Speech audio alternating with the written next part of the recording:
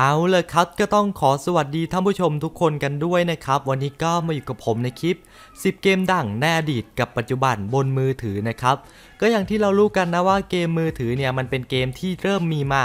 เยอะนะครับในช่วงปี 2012 นะ และก็ในช่วงประมาณปี 2012 ถึง 2014 เนี่ยก็จะมีเกมมือถือที่มันดังนะครับผมแล้วก็มันฮิตแล้วก็คนเล่นกันเยอะในช่วงนั้นนะครับเพราะงั้นในคลิปนี้ผมก็เลยจะทำการรวบรวมเกมดังทั้งในอดีตนะครับผมแล้วก็เกมดังทั้งในปัจจุบันนะครับว่ามันมีเกมอะไรกันบ้าง ส่วนเรื่องความแตกต่างของเกมนะครับที่มันดังแต่ละช่วงเวลากันเนี่ยท่านผู้ชมก็ลองหาข้อแตกต่างกันดูเองละกันนะครับ ในคลิปนี้ผมก็จะแบ่งเป็น 5 เกมของฝั่งเกมดังจากอดีตนะครับแล้วก็ 5 เกมของเกมดังในปัจจุบันนะครับผมก็รวมกันก็จะเป็น 10 เกมกล่าเป็นว่านะครับเดี๋ยวเราก็ไปดูเกมดังทางฝั่งอดีตก่อนละกันนะครับมากันที่เกมดังในอดีตเกมแรกนะครับกับเกมไล่เกมเศรษฐี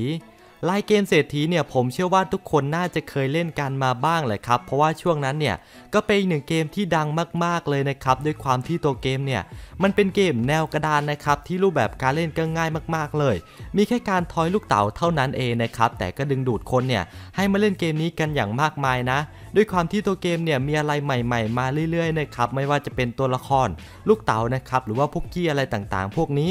คือในยุคนั้นนะครับผมเชื่อว่าถ้าใครที่เล่นเกมมือถือเนี่ยก็น่าจะเคยเล่นเกมนี้กันสักครั้งแหละครับถึงแม้ว่าในปี 2019 เนี่ยเกมไลน์เกมเศรษฐีนะครับน่าจะไม่ได้รับความนิยม เท่ากับแต่ก่อนแล้วนะครับผมแต่ก็ยังเป็นเกมที่ยังมีการอัปเดตอยู่เรื่อยๆนะครับก็ถ้าไปเล่นตอนนี้เนี่ยก็ยังสามารถเล่นได้สนุกอยู่นะครับมากันที่เกมดังในอดีตเกมที่2 กันนะครับ กับเกมคุกกี้รันเกมคุกกี้รันเนี่ยถ้าในช่วงนั้นก็เรียกได้ว่าเป็นหนึ่งเกมมือถือที่ดังมากๆเลยแหละครับ ถ้าใครเล่นเกมมือถือช่วงนั้นก็น่าจะรู้จักเกมนี้กันบ้างอยู่แหละครับผม ก็เกมคุกกี้รันเนี่ยมันจะเป็นเกมที่จะมีรูปแบบการเล่นที่ง่ายนะครับ ไม่มีอะไรยุ่งยากเลย ในเกมเนี่ยมันจะมีแค่ 2 ปุ่มก็คือปุ่มกระโดดกับปุ่มสไลด์ เรามีหน้าที่ในการเก็บเจลลี่เท่านั้นก็พอนะครับจึงทำให้ตัวเกมในช่วงนั้นเนี่ยได้เป็นเกมที่มีกระแสดีนะครับผมแล้วก็เป็นเกมที่ได้รับความนิยมเป็นอย่างมากนะครับพอๆกับเกมเศรษฐีเลยก็ว่าได้ ตัวเกมก็มีคนนะครับพยายามเก็บคะแนนให้ได้สูงๆนะ 10 ล้าน 20 ล้าน 30 ล้านก็ว่ากันไปนะครับจะได้เอามาอวดกัน ก็เป็นเกมหนึ่งนะครับที่น่าคิดถึงมากๆเลย เพราะว่าตอนนี้เนี่ยตัวเกมได้ปิดตัวไปแล้วนะครับในค่ายเดิมนะ แล้วก็กลับมาเปิดในค่ายใหม่นะครับตัวเกมก็ยังได้รับความนิยม เป็นอย่างมากเหมือนเดิมนะครับถึงแม้ว่าจะไม่ดังเท่าช่วงแรกแล้วก็ตามนะครับมาต่อกันที่เกมที่ 3 กันนะครับกับเกม Dragon City เกม Dragon City เกมนี้ถ้าผมจำไม่ผิดเนี่ยมันเคยเป็นเกมที่มีใน Facebook มาก่อนนะ แล้วก็ได้ทำมาลงในเวอร์ชั่นมือถือนะครับ ถือว่าเป็นอีกหนึ่งเกมนะครับที่เล่นแล้วค่อนข้างสนุกมากๆเลย ตัวเกมก็น่าจะเป็นอีกหนึ่งเกมที่ได้รับความนิยมมากๆในช่วงนั้นนะครับด้วยความที่ตัวเกมเป็นเกมที่เล่นเพลิน มันเป็นเกมที่เล่นเพลินจริงๆนะ ตัวเกมเนี่ยจะมีบังกรให้เรานะครับ เหล่าบังกรต่างๆ ก็จะแบ่งเป็นธาตุแต่ละธาตุไป แต่ความสนุกของเกมนี้จริงๆก็น่าจะเป็นเรื่องการผสมบังกรนี่แหละครับ ในการเอาบังกรแต่ละสายพันธุ์เนี่ยมาผสมกันก็จะได้บังกรชนิดใหม่ออกมานะครับ ที่เป็นอะไรที่เพลินมากๆเลยนะในยุคนั้นนะครับ และการผสมบังกรแต่ละครั้งเนี่ยก็จะมีเกรดต่างๆ ออกมาด้วย ให้เราได้ลุ้นกันนะครับ ผมว่าจะได้เกรดอะไร ตอนนี้ก็ยังมีคนเล่นกันอยู่นะครับสำหรับเกมนี้ แต่ก็ไม่ได้รับความนิยมเท่าแต่ก่อนแล้วนะครับ แต่ก่อนก็ถือว่าดังมาก ผมก็เคยเล่นเกมนี้มาบ้างนะครับในช่วงนั้น มากันที่เกมที่ 4 กันต่อนะครับ กับเกม Minecraft PE หรือว่า Minecraft Pocket Edition นะครับ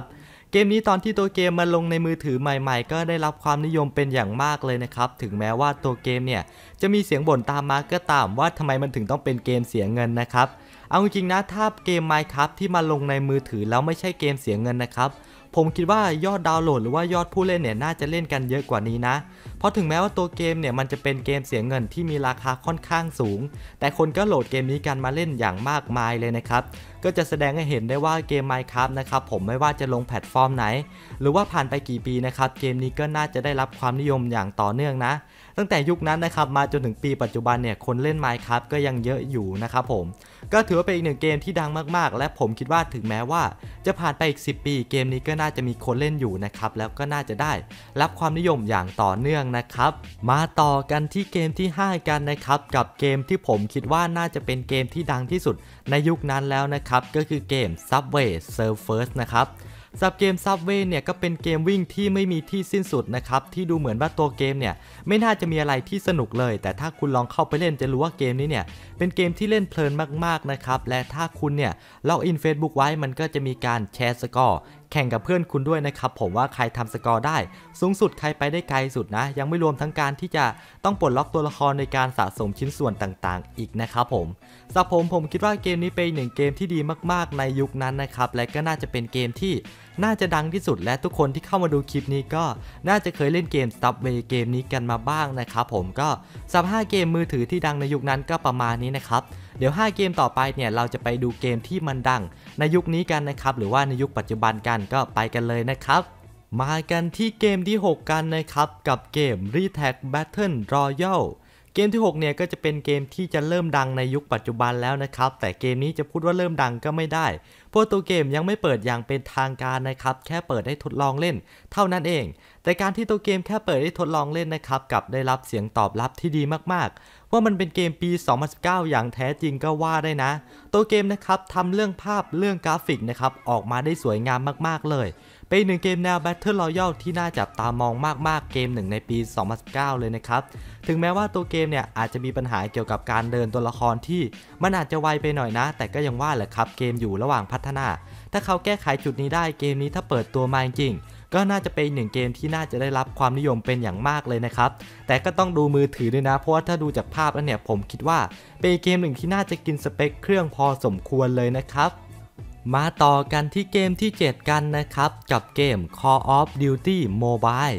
เกม Call of Duty Mobile เนี่ย ถ้าใจพูดมันก็คงเป็นเกมยิงมุมมองบุคคลที่ 1 ที่น่าจะได้รับความนิยมมากที่สุดในช่วงเวลานี้แล้วนะครับ ด้วยความที่ตัวเกมเพิ่งเปิดใหม่นะครับ และก็คนเข้าไปเล่นกันเยอะมากทำให้เรานะครับสามารถหาคู่ต่อสู้หรือว่าหาห้องเจอไวและตัวเกมก็มีมากมายหลายโหมดด้วยนะครับ ไม่ว่าจะเป็นโหมด MP นะครับหรือว่าโหมด BR แต่ส่วนใหญ่เขาจะเล่นโหมด MP กันนะ ในโหมด MP ก็มีข้อดีหลายอย่างนะครับตรงที่มีเซิร์ฟไทยนะครับทำให้เราเจอแต่คนไทยสื่อสารพูดคุยกันได้ง่ายนะครับตัวเกมก็ถือว่าสนุกดี ใครยังไม่ลองก็แนะนำให้ลองเลย และนอกจากนั้นตัวเกมก็ยังมีเรื่องภาพกราฟิกที่สวยงามนะครับ แต่กับทำตัวเกมออกมาที่ดี โดยที่ตัวเกมไม่ค่อยกินสเปคเครื่องมาก ก็ต้องชื่นชมคนที่พัฒนาเกมนี้นะครับว่าเขาเขียนโค้ดมาได้ดีมากๆเลย มากันที่เกมที่ 8 กันต่อนะครับกับเกม Free Fire เกม Free Fire เนี่ยก็เป็นหนึ่งเกมแนว Battle Royale นะครับผมที่มีทั้งคนชอบแล้วก็คนไม่ชอบนะครับ แต่ก็จะปฏิเสธไม่ได้เลยนะครับ ถ้าเราจะหาเกมที่มีความนิยม สูงสูงในยุคนี้นะครับ เกมฟรีไฟเนี่ยก็เป็นหนึ่งเกมที่น่าจะได้รับความนิยมสูงสุดเลยก็ว่าได้นะ ตัวเกมนะครับเป็นเกมที่มีคนเล่นเยอะนะครับ โดยเฉพาะคนไทยที่เข้ามาเล่นเกมนี้กันเยอะมากๆ ด้วยความที่ตัวเกมเป็นเกมแนว BR นะครับเป็นเกมแนว BR ที่สเปคไม่ต้องสูงมากนะครับเลยทำให้มือถือหลาย ๆ เครื่องเนี่ยสามารถเข้าถึงเกมนี้ได้นะครับเลยทำให้เกมนี้เนี่ยกลายเป็นเกมที่ได้รับความนิยมเป็นอย่างมากนะครับผมแล้วก็ได้รับความนิยมกันไวมากๆเลยนะก็เกมเกมนี้ผมก็เชื่อว่าทุกคนน่าจะเคยเล่นกันผ่านตากันมาบ้างแหละครับ ก็เป็นอีกหนึ่งเกมที่ดีนะ ถ้าคุณไม่อคติอะไรเกี่ยวกับตัวเกมมากนะครับ ต่อกันที่เกมที่ 9 นะครับ กับเกม PUBG Mobile เกม PUBG Mobile นี่ก็เป็นหนึ่งเกมที่ต้องบอกได้เลยนะครับผมว่าได้รับความนิยมอย่างสูงเลยนะ ไม่ใช่แค่เฉพาะในประเทศไทยนะครับ แต่ทั่วโลกเลยก็ว่าได้ ด้วยความที่ตัวเกมนะครับ มันเป็นเกมในเวอร์ชัน PC มาก่อน เป็นเกมแนว Battle Royale ในเวอร์ชัน PC ที่ได้รับความนิยมเป็นอย่างมากเลย และก็น่าจะเป็นเกมแนว Battle Royale ที่น่าจะเป็นต้นแบบของหลายๆเกมนะครับที่ออกออกตามกันมาแต่พอตัวเกมนะครับปล่อยมาลงในมือถือนะครับก็กลับได้รับความนิยมอย่างต่อเนื่องนะ ไม่ว่าจะเป็นผู้เล่นเก่าที่ตามมาจากในเวอร์ชัน PC นะครับ หรือเป็นผู้เล่นใหม่นะครับที่รอเกมนี้ลงในเวอร์ชันมือถือ แล้วก็คอยเข้าไปโหลดเล่นกันนะครับ ก็ถือได้ว่าเกมนี้เป็นหนึ่งเกมที่ประสบความสำเร็จมากๆเลยนะครับ ถึงแม้ว่าตัวเกมจะมีเรื่องการกินสเปคมาเล็กน้อยนะ แต่ก็ไม่ใช่ปัญหาอะไร หลายๆ เครื่องก็ยังพอเข้าไปเล่นกันได้อยู่นะครับก็ถือเป็นอีกหนึ่งเกมที่ถ้าจะพูดนะครับ ในยุคนี้เกมนี้ก็น่าจะเป็นเกมที่ได้รับความนิยมไม่แพ้เกมไหนๆแน่นอนนะครับ และก็มากันที่เกมที่ 10 นะครับ กับอีกหนึ่งเกมที่ผมคิดว่าน่าจะเป็นเกมที่ฮิตมากๆ ในปัจจุบันนะครับ ก็คือเกม ROV เกม ROV เนี่ยก็เป็นเกมแนวโมบ้าที่คนไทยนะครับเข้าไปเล่นกันเยอะที่สุดแล้วนะ ถ้าลองเทียบกับเกมแนวโมบ้าเกมอื่นๆนะครับผมที่มีอยู่ใน Google Play Store ตอนนี้ เกม ROV น่าจะเป็นเกมที่คนไทยเล่นเยอะสุดแล้ว ด้วยความที่ตัวเกมนะครับผมมีการแข่งขันนะ จึงทำให้หลายๆคนเนี่ยเริ่มจัดทีมนะครับเพื่อที่จะซ้อมทีมแล้วก็ไปแข่งกัน ตัวเกมก็ยังมีการอัปเดตตลอดนะครับไม่ว่าจะเป็นแผนที่ใหม่นะครับตัวละครใหม่ๆ สกินใหม่ๆนะครับทำให้ผู้เล่นเนี่ยสามารถเล่นเกมไปได้เรื่อยๆนะครับไปได้ยาวๆนะ คนเลิกเล่นเกมนี้ค่อนข้างน้อยนะครับและคนยิ่งเล่นเกมนี้ก็จะยิ่งมากขึ้นนะสับในความคิดผม เพราะว่าเกมนี้ยิ่งอยู่เรื่อยๆนะครับก็จะยิ่งมีคนรู้จักแล้วก็แนะนำให้มาเล่นเกมนี้กันเรื่อยๆนะครับนี่ก็ถือว่าเป็นหนึ่งเกมที่ได้รับความนิยมมากๆในยุคปัจจุบันนะครับ ก็เป็นยังไงกันบ้างเลยครับผมสำหรับ10 เกมดังในอดีตกับปัจจุบันนะครับบนมือถือนะ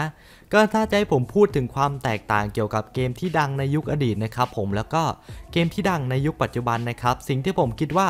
มันมีความแตกต่างกันมาก ๆเลยนะครับผมก็คือเรื่องกราฟิกของตัวเกมนะครับที่จะสังเกตเห็นได้ว่าเกมในเวอร์ชันปัจจุบันนะครับจะทำภาพกราฟิก ออกมาได้สวยแล้วก็สมจริงมากกว่านะครับผมด้วยเทคโนโลยีในยุคนี้ที่มันใหม่กว่านี่แหละครับผมแล้วก็จะเป็นเรื่องแนวเกมที่จะมีให้เลือกเล่นมากกว่านะครับในยุคปัจจุบันเนี่ย จะมีมากมายหลากหลายแนวนะ ไม่ว่าจะเป็นแนวโมบ้านะครับผมแนว Battle Royale ต่างๆ ที่ให้ผู้เล่นนะครับสามารถเลือกเล่นได้หลากหลายมากขึ้นนะครับต่างจากแต่ก่อนที่ไม่ค่อยมีหลายแนวให้เลือกเล่นนะ นี่ก็ถือว่าเป็นข้อแตกต่างที่ผมสรุปได้นะครับถ้าใครคิดเห็นว่ามันแตกต่างกันยังไง ก็สามารถคอมเมนต์บอกกันเอาไว้ได้นะครับเอาเป็นว่าคลิปนี้ก็จบไปเพียงเท่านี้เลยกันไว้เจอกันคลิปหน้านะครับบ๊ายบายนะครับ